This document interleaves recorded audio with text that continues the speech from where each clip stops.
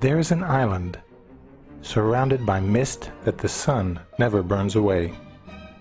From green hills to snow-capped mountains, this island is stunning in its untamed beauty.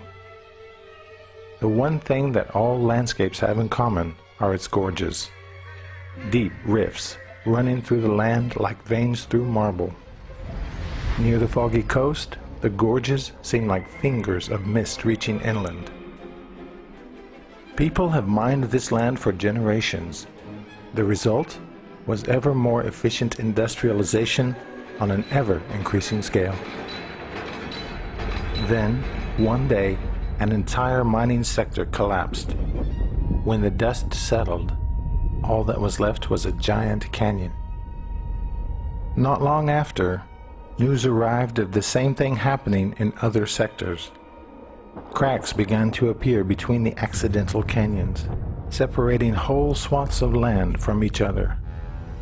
Initially, people would bridge the gaps, but eventually distances became too great.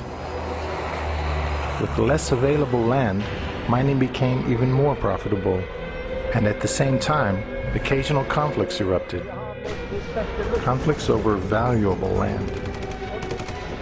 Meanwhile, the island gets smaller all the time.